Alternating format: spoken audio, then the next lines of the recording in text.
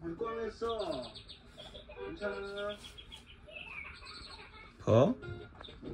시원하지 이제 미용해서 이제 손질 해야겠다